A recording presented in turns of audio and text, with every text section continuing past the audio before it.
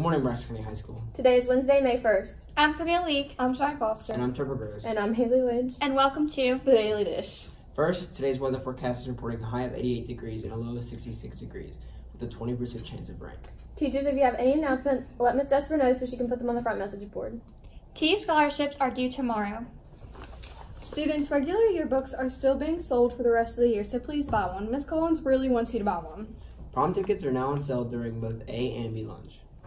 Now for the best part of today. Lunch is super nachos, diced tomatoes, sour cream, black bean and corn salsa, seasoned brown rice, refried beans, pepper rings, mandarin oranges, and the usual garden bar. Tomorrow's breakfast is cook's choice.